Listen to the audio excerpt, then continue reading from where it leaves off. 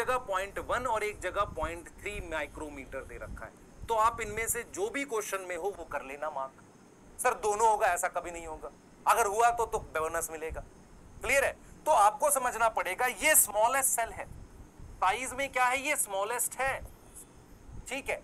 फिर लार्जेस्ट हमारे पास ऑस्ट्रिच का एग लार्जेस्ट क्या है? ऑस्ट्रिच एक बर्ड होती है ऑस्ट्रिच उसका एग लार्जेस्ट सेल है। तो आपको ये समझना पड़ेगा कि साइज़ जो है, काफ़ी वेरी होता है। Prokaryotic cell smallest cell largest cell उसके अलावा यूकैरियोटिक सेल में, हमारे पास जो साइज़ है ना बेटा यूकैरियोटिक सेल में 10 से 20 माइक्रोमीटर होता है। और आरबीसी थोड़े छोटे होते हैं। आरबीसी में साइज़ सात माइक्रोमीटर होता है। तो अगर आप देखो आरबीसी बैक्टीरिया से तो बड़ा है। है कि नहीं? हाँ सर। पर एक छोटा सेल होता है। क्लियर है कि नहीं बताओ सोचो सोचो। तो ये चीज़ क्या हो गई? हमारे पास साइज़ हो गया।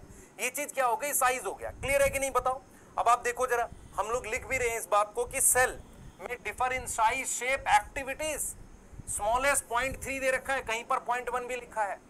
तीन से पाँच या दो से पाँच माइक्रोमीटर लार्जेस्ट है ऑस्ट्रिचेक आरबीसी सात माइक्रोमीटर का मैंने यूनिट आपको पहले ही बता दी माइक्रोमीटर मिलीमीटर ये यूनिट यूज़ होती हैं।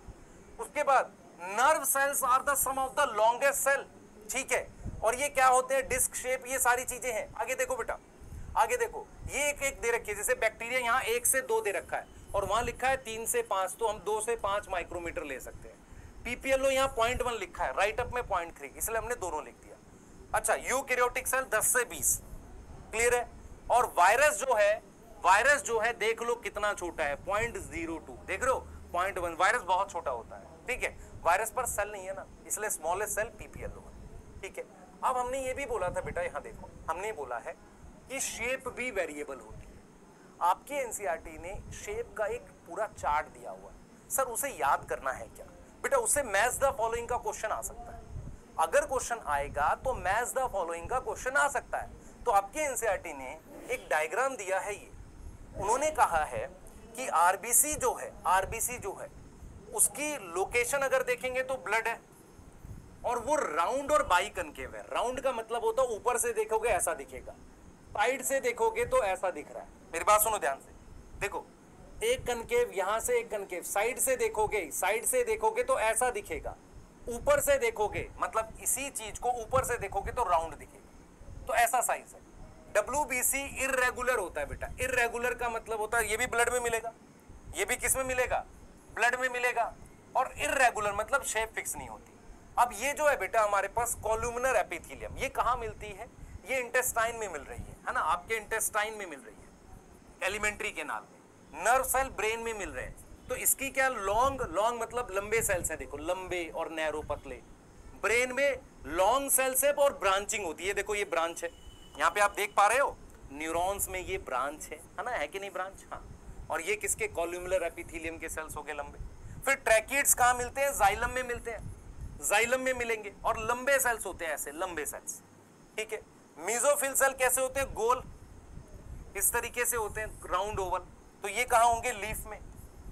ये कहा होंगे? लीफ तो ये लोकेशन बता दी, ये इनकी शेप हो गई। शेप कैसे आ सकता है? मैच द फॉलोइंग का क्वेश्चन आएगा। अगर आया तो मैच द फॉलोइंग का क्वेश्चन आएगा। क्लियर है?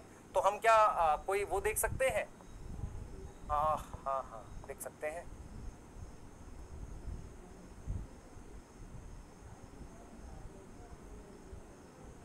देखो शेप पे हमारे पास कुछ है यहाँ पे आपको दिखाने के लिए।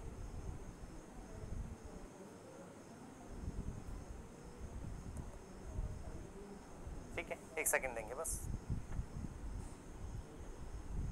आप देख सकते हो ये आरबीसी की शेप है, ठीक है? डब्ल्यू अलग अलग टाइप के होते हैं, है ना? उनकी शेप फिक्स नहीं होती, है ना? कॉलुमलर एपिथीलियम ये देखोगे इंटेस्टाइन में होगा, आप देख सकते हो इंटेस्टाइन में, है ना? यहाँ कॉलुमलर एपिथीलियम देख रहे हो कैसे सेल शेप है। नर्व सेल ब्रेन में होंगे या स्पाइनल कॉर्ड में भी होंगे, और कैसे होंगे आप देखो, ये देखो ब्रांच ऐसे। फिर ट्रैकिड्स है हमारे पास, ये देखो जाइलम के अंदर रहेंगे ऐसे दिखेंगे। क्लियर है? तो ये हमारे पास क्या दे रखी है? शेप्स दे रखी है। ना? क्या दे रखी है? शेप्स दे रखी है। तो इन शेप्स को हम कर सकते हो, ठीक है? आगे हम चल रहे हैं बेटा। आगे चल रहे हैं, हमने ओवरव्यू वाला टॉपिक लगभग कंप्लीट किया है, आप देख सकते हो। यहाँ पर भी वो चीक सेल की बात कर रहा है। माइक्रोस्कोप में हम ऑब्ज़र्व कर रहे हैं। अनियन की पील और ह्यूमन के चीक सेल यहाँ से निकाल रहे हैं। ठीक है? डीलिमिटिंग स्ट्रक्चर किसकी बात करी है? मेम्ब्रेन की। और वो किसमें हो रहा है? चीक सेल्स में ह्यूमन चीक सेल्स में। और उसमें क्या है? मेरे पास पील में मेरे पास क्या प्रेजेंट अच्छा दोनों में न्यूक्लियस प्रेजेंट है जो मेम्ब्रेन बाउंड ठीक है? अब क्या लिख रहा है? Cells that have membrane bound nuclear called eukaryotic और जिसमें वो मेम्ब्रेन नहीं है, उसको हम क्या बोलेंगे? प्रोकैरियोटिक सेल बोलेंगे। क्या इतनी चीज़ समझ में आ रही है? सही है सर आगे चलें। ये एनसीईआरटी आप रीड करोगे, बताओ। अब यहाँ कह रहा है एरिना ऑफ़ सेलुलर एक्टिविटीज़ मतलब क्या हुआ?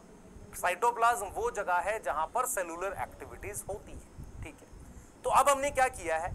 एक तरीके से आपका ओवरव्यू वाला टॉपिक कंप्लीट किया। यहाँ पर हमने क्या छोड़ा अभी? सेल थ्योरी जो हम लास्ट में पढ़ेंगे। ठीक है? चलिए, आगे चलेंगे। और आज हम लोग बात करेंगे पहले, अब हम बात करेंगे बेटा प्रोकैरियोटिक सेल की। ठीक है? प्रोकैरियोटिक सेल के कुछ बेसिक फीचर समझेंगे। आपको पता है, अगर प्रोकैरियोटिक सेल बनाना है तो उसके बाहर ये सेल मेम्ब्रेन तो होनी ही चाहिए।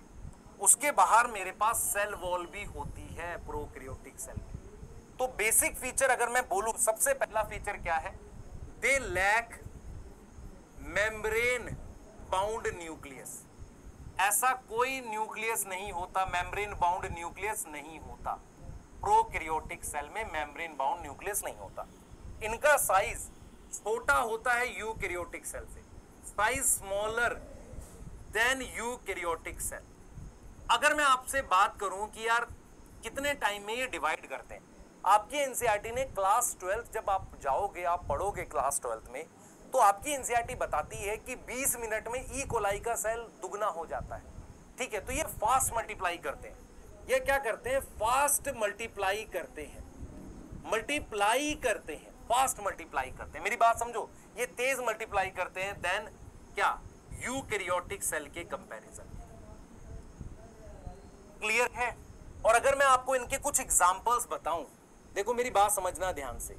Example of prokaryotic cell for example जैसे मैं आपसे कहता हूँ, ध्यान से सुने बेटा। मैं आपसे कहता हूँ कि मान लो, मैं आपको कोई एग्ज़ाम्पल दे रहा हूँ, इसका मान लो रिमोट का। तो ये रिमोट एलजी का हो सकता है। ये रिमोट आपका तो इसके एक बेसिक फीचर होंगे, इनमें बटन होंगे, ये सारा। ऐसे ही प्रोकैरियोटिक सेल एक एक सेल है, जिसमें कुछ फीचर्स होते हैं। पर उसके भी एग्ज़ाम्पल होंगे ना। तो प्रोकैरियोटिक सेल का जो एग्ज़ाम्पल है, उसमें हमारे पास बैक्टीरिया आते हैं। उसमें आते हैं हमारे पास बैक्टीरिया। बैक्टीरिया में एक मेन बैक्टीरिया होता है, जिसे ट्रू बैक्टीरिया कहते हैं, वो होता है यू बैक्टीरिया यू बैक्टीरिया का मतलब होता है ट्रू बैक्टीरिया इसके अंदर आते हैं माइकोप्लाज्मा और क्या आता है बेटा? एक खास तरह के बैक्टीरिया आते हैं जिनमें पिगमेंट होता है साइनो बैक्टीरिया इस साइनो बैक्टीरिया का नाम ब्लू ग्रीन एल्गी भी होता है। तो हमने कहा कि बैक्टीरिया के अंदर यू बैक्टीरिया आ सकते हैं। और क्या आ सकते हैं? Archie bacteria. इन सब में, इन सब में बेसिकली कैसा सेल होगा? प्रोकैरियोटिक सेल होगा। आर्की बैक्टीरिया का एक उदाहरण है मिथेन बनाने वाले बैक्टीरिया मिथेनोजन तो हमने आपको यह बताया कि भाई प्रोकैरियोटिक सेल तो एक सेल की टाइप है। उसमें कौन से ऑर्गेनिज्म आते हैं? जो भी आते हैं, वो बैक्टीरिया हैं। वो चाहे यू बैक्टीरिया हो, चाहे आर्की बैक्टीरिया हो। यू बैक्टीरिया ट्रू बैक्टीरिया को कहते हैं, सच्चा बैक्टीरिया मतलब प्रॉपर तरह का। इसके अलावा मेरे पास एक ई e. कोलाई भी आ सकता है। मिथेनोजन किसमें आएगा? आर्की कुछ पुराने बैक्टीरिया आए थे, उन्हें हम आर्की बैक्टीरिया कहते हैं। क्लियर है कि नहीं बताओ क्लियर है? जल्दी बताओ। सोचो सोचो सोचो। हाँ। अब मैं आपको बताता हूँ बेटा शेप को लेके। ध्यान से सुनेंगे। बैक्टीरिया की हमारे पास कुछ शेप्स भी होती हैं। अगर शेप ऐसी है, गोल है जिसे स्फेरिकल कह रहे हैं। इसको हम कहते हैं कोकस दूसरा रॉड शेप रॉड शेप इसको कहेंगे बेसिलस तीसरा कॉमा शेप कॉमा शेप ऐसा। उसको कहेंगे विब्रियो फोर्थ पीरिलियम ऐसा। ठीक है स्पीरिलियम ये हो गया। तो ये अलग अलग तरह की, ये कैसा होगा बेटा? ऐसा शेप का हो गया। कॉमन शेप हो गया स्पाइरल होता है स्पीरिलियम अब देखो, कई बार क्या होता है, ये जो स्फेरिकल होते हैं, ये दो होते हैं, या चेन बना लेते हैं। अगर चेन बनाएँगे तो चेन ऑफ़ कोकस को कहते हैं स्ट्रेप्टोकोकस स्ट्रेप्टो का मतलब होता है चेन और किसकी चेन है? कोकस की। फिर मेरे पास दो आ गए। ऐसे दो। इसको कहेंगे डिप्लोकोकस। क्या बोलेंगे बेटा? डिप्लोकोकस। आपको समझ में आ रही है? क्लियर है? कई बार क्या होता है, कोकस जो होता है, ऐसे बंच, गुच्छा बना लेता है। गुच्छा समझ में आता है, जैसे ग्रेप्स इसको कहते हैं स्टेफाइलोकोकस तो यहाँ से आपको क्या क्या ध्यान रखना है बेटा? बैक्टीरिया की चार टाइप की शेप्स मिलती हैं। उनमें मोस्ट कॉमन बेसिलस है। सबसे कॉमन कौन सी है? बेसिलस क्लियर है? तो हमने बैक्टीरिया के बारे में क्या क्या बताया, सुने ध्यान से। सबसे पहले, उसमें वेल डिफाइंड न्यूक्लियस नहीं होता। छोटा साइज़ होता है यू क्रियोटिक सेल से हमने पढ़ा, दो से पाँच माइक्रोमीटर यू क्रियोटिक सेल दस से बीस माइक्रोमीटर ये तेज मल्टीप्लाई करते हैं। इनके कुछ एग्जाम्पल्स हैं। इनकी चार तरह की शेप है। स्फेरिकल गोल coccus rod shape bacillus comma shape vibrio और स्पीरिलियम ऐसा होता है स्पाइरल स्पाइरल मतलब इस तरीके से. क्लियर है? तो ये शेप हो गई बैक्टीरिया की. अब क्या करना है बेटा? अब क्या करना है? हमें, देखो, क्योंकि हम टॉपिक पढ़ रहे हैं प्रोकैरियोटिक सेल तो हमें प्रोकैरियोटिक सेल की एक एक डिटेल जाननी है.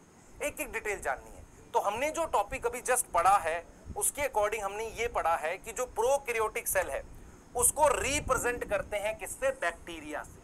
इसमें ब्लू ग्रीन एल्गी जिसे साइनो बैक्टीरिया कहते हैं, ये भी आ जाता है। इसमें माइकोप्लाज्मा आ जाता है पीपीएलओ आ जाता है, मैंने मिथेनोजन भी बता दिए। दे आर जनरली छोटे होते हैं और तेज़ी से मल्टीप्लाई करते हैं। इनकी शेप और साइज़ अलग अलग होते हैं। शेप में बैसिलस कोकस विब्रियो कोकस और स्पीरिलियम ठीक है? एनसीआरटी कहती है कि बेसिक स्ट्रक्चर सारे प्रोकैरियोटिक सेल का लगभग एक जैसा होता है, कुछ माइनर डिफरेंसेस होते हैं। हल्के हल्के डिफरेंस होते हैं, पर बेसिक स्ट्रक्चर क्या होता है? लगभग सेम होता है।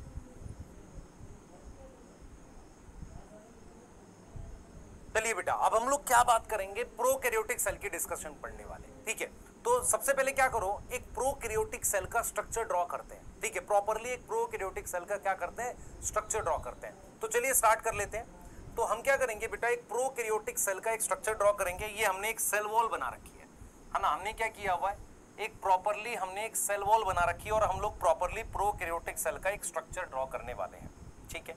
तो ये सेल वॉल है। इसके अंदर हमने ये सेल मेम्ब्रेन बना दी है। ध्यान से देखना बेटा। ये हमने क्या बना दी है? सेल मेम्ब्रेन बना दी है। ठीक है? क्लियर है? सही है? और हमारे पास एक और बाहर स्ट्रक्चर है ये। तो ये तीन लेयर आपको दिखेंगी एक नॉर्मल प्रोकैरियोटिक सेल में। इन तीनों को मिलाकर हम एक कॉमन नेम देते हैं सेल एनवलप इसमें सबसे बाहर ये होता है जिसे हम कहते हैं ग्लाइकोकैलिक्स क्या हम पढ़ रहे हैं प्रोकैरियोटिक सेल का स्ट्रक्चर ये हमारे पास सेल वॉल है। और ये जो इसके अंदर है ये दिस इज़ सेल मेम्ब्रेन